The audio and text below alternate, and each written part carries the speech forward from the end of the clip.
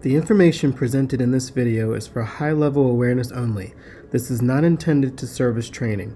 Stratus configuration remains under development. Any features shown in this video are subject to change. This demonstration will show you how to create expense items within a report in Stratus.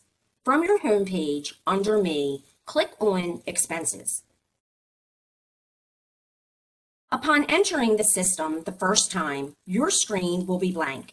However, as you can see from my homepage, the screen will display expense reports across the top in the info tiles and individual expense items at the bottom portion of the page. You can enter an individual expense item by clicking on the Create Item button under Available Expenses. You can list as many individual expenses as you want, and then you can add them to an expense report later. However, for this demonstration, I'm going to walk you through creating an expense item within a report. An expense report can contain one or many expense items. We are requesting reimbursement for an overnight trip we took. Click on Create Report. You will begin indicating the purpose of the trip. Please remember to use the same title as the pre-approved authorization. And in this example, we're going to use basketball recruiting. You can indicate a comment, anything that you feel is necessary to support the expense. Use the drop down to indicate whether you are a U.S. citizen or a non-resident alien. Now that the header is complete, to begin adding expense items, click Create Item. You will select the appropriate date.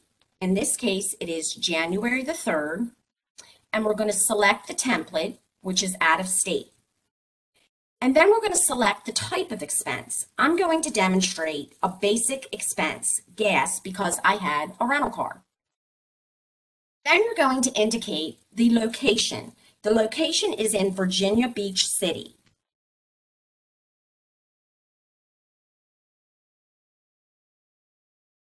And you're going to indicate the dollar amount of the gas you purchased. 35, 35. You can indicate a description, anything that you feel is necessary to support the expense, and to indicate the merchant, which is Exxon. This will help us down the road with reporting. Across from that, you can see the account field where the expense item is being charged. In this case, it automatically defaults to the home department.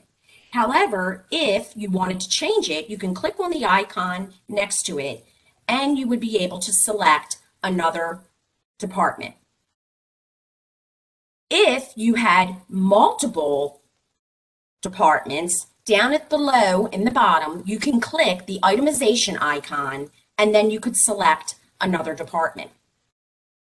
As for any receipt or expense, you need a receipt attached. So you're going to click here.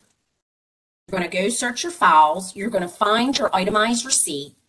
You're going to click on it and select open. And as you can see, it uploaded the attachment.